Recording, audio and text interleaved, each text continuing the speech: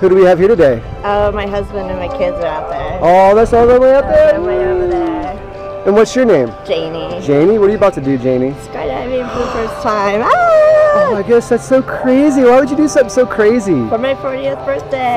40th birthday, awesome. We got this cool looking jumpsuit on. You got this cool harness. Wait, Janie, this thing's got rubber bands holding it together. Let's check out your parachute. Uh, Janie, there's not a parachute back there. Do you have a plan for not having a parachute? No, not yet. I, I, Not you. I recommend that you jump with a highly skilled, trained professional. Unfortunately, you're jumping with me.